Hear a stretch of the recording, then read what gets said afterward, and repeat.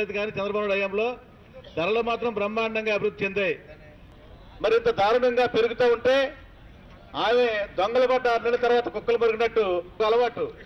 ముందు తన బ్లాక్ మార్కెట్ల వారి వ్యాపారులందరి చేత కూడా తన తెలుగుదేశం పార్టీ కార్యకర్తల చేత నాయకుల చేత కనీసం పని ఉన్నారు. జగన్మోహన్ రెడ్డి గారు స్పందించే వరకు కూడా ఎక్కడ కూడా తెలుగుదేశం పార్టీ కార్యకర్తలు స్పందించరు. కానీ భారతదేశం ఇతర రాష్ట్రాలు లేదని ఈ రకంగా ధరలు ఉన్నాయంటే భారతదేశంలో ఇంత అధికంగా ఎక్కడ కూడా ధర లేని పరిస్థితి మనం చూస్తా ఉన్నాం. ఇంత దౌర్భాగ్యం నిలుపుదల చేయడానికి గంటా శ్రీనివాసరావు కోటి రూపాయలు తీసుకున్నాడు. అటు ఇటు కాకుండా చేయడానికి అయ్యన పత్రి గారు కోటి యాభై. కారణం ఇవాళ చంద్రబాబు నాయుడు పాల్పడుతున్నటువంటి అవినీతే కారణం ఇవాళ.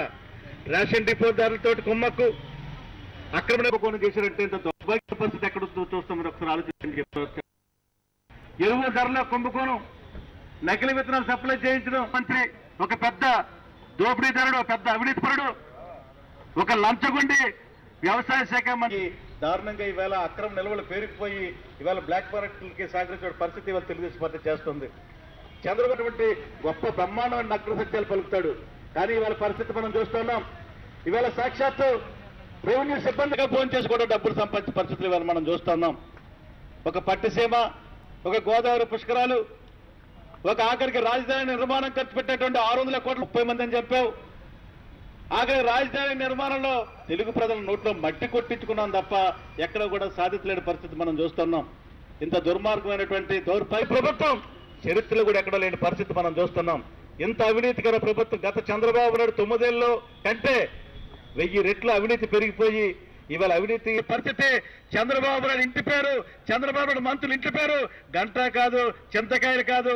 అందరికీ అవినీతి. శ్రీనివాసరావు అవినీతి మా వైఎస్ఆర్ పార్టీ అధ్యక్షుడు శ్రీ జగన్మోహన్ రెడ్డి గారి పిలుపు మేరకు ఈరోజు రాష్ట్రంలో అన్ని మండల రెవెన్యూ కార్యాలయ ఎదురుగా నిరాహార దీక్షలు ధర్నాలు నిరసన దీక్షలు చేస్తున్న సందర్భంలో నేను స్ట్రైట్గా సూటుగా ఈ రాష్ట్ర ముఖ్యమంత్రిని రెండే రెండు ప్రశ్న వేయదలుచుకున్నా మీరు నిజంగా రాష్ట్రాన్ని మీరు ముఖ్యమంత్రిగా ఉన్నారా? లేకపోతే ఒక ఈవెంట్ మేనేజర్గానో లేకపోతే ఒక కార్పొరేషన్ సీఈఓగానో లాస్ట్ టైం అయితే మీరు సీఈఓ అని చెప్పి చెప్పుకున్నారు మీరే చెప్పుకున్నారు. ఇప్పుడైతే ఈవెంట్ మేనేజర్ అని చెప్పి మీ పార్టీ నాయకులే చెప్తున్నారు. ఈ ఈవెంట్ మేనేజర్లను సీఈఓల వల్ల రాష్ట్రానికి కానీ రాష్ట్ర అభివృద్ధికి కానీ రాష్ట్రంలో ఉన్నటువంటి పేద వర్గాలకు కానీ ఏ రకమైనటువంటి మంచి జరగదు.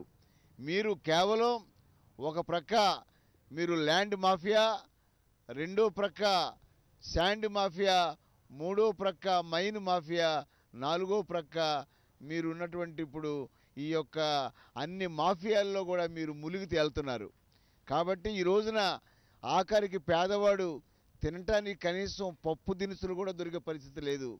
ఈ రోజున కందిపప్పు ధర మీరు రెండు వందల రూపాయలు అయితే ప్రభుత్వం మరి వన్ ఫార్టీ త్రీ అని చెప్పి మీరే చెప్తున్నారు. One forty three rupees pay చేసి ఏ పేదవాడు పప్పు ఈ రోజున కొనుక్కుంటాడని చెప్పి అడుగుతున్నాం. ఈ రోజున ఏ పేదవాడే కాదు మధ్యతరగతి వాళ్ళు కూడా బ్రతకటానికి ఏమాత్రం కూడా ఆస్కారం లేనటువంటి పరిస్థితులు. మీరు ఈ రోజున కేవలం అవినీతి అని చెప్పి ఈవెన్ ఉద్యోగస్తుల్ని మీరు బదనాం చేస్తున్నారు. ఫస్ట్ మీరే అవినీతి పరుడని చెప్పి డైరెక్ట్గా ఓటుకు నోటు కేసులో దొరికిన తర్వాత ఇంతవరకు కూడా దాని మీద మీరు ఎక్స్ప్లెనేషన్ కూడా ఇవ్వలేని పరిస్థితుల్లో మీరు శతకోటి పనులు అవినీతి పనులు చేస్తే ఉద్యోగస్తులు కానీ మీ యొక్క పెట్టుబడిదారు ఆ వర్గాలు కానీ అందరూ కూడా అనంత కోటి అవినీతి పనులు చేయాలని ఈ రోజున వాళ్ళు నిశ్చయంతో ఉన్నారు. కాబట్టి రాష్ట్రంలో అధ్వానమైన పరిపాలన దాగి ఉంది. ఈ రోజున కష్టాల్లో రాష్ట్రం ఉంది.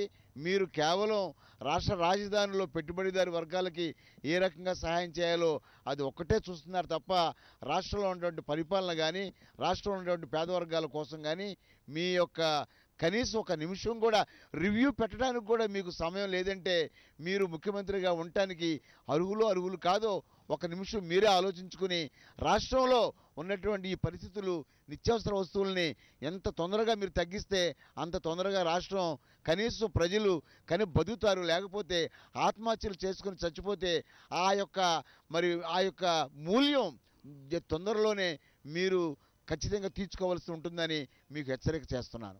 ఈరోజు రాష్ట్ర వ్యాప్తంగా వైఎస్ఆర్ కాంగ్రెస్ పార్టీ ఆధ్వర్యంలో అన్ని మండల కార్యాలయాల దగ్గర నిత్యావసర వస్తువుల రేట్లు తగ్గించాలని చెప్పేసి వైఎస్ఆర్ కాంగ్రెస్ పార్టీ ఆధ్వర్యంలో ధర్నాలు జరుగుతూ ఉన్నాయి. నిన్నటి వరకు ఈ రాష్ట్ర ప్రజలు ఉల్లిపాయలతో తీవ్ర ఇబ్బంది పడ్డారు. ప్రస్తుతం ఇసుకతో తీవ్రమైనటువంటి ఇబ్బందులు ఎదుర్కొంటూ ఉంటే మళ్ళీ ఈరోజు పప్పులు అన్నీ కూడా నిత్యావసర ప్రజలకు అందుబాటులో లేకుండా పోయాయి. ఈ చంద్రబాబు నాయుడు గారు ప్రజల యొక్క సంక్షేమాన్ని కానీ ప్రజల గురించి పట్టించుకోకుండా ఏదో ప్యాకేజీ తెచ్చుకొని ఈ రాజధాని పేరు చెప్పేసి బతకాలని చూస్తూ ఉన్నారు. ప్రజలు చీకొడతా ఉన్నారు. మీరు ఏవైతే హామీలు ఇచ్చి ఎన్నికల హామీలు అవి పక్కన పెట్టారు.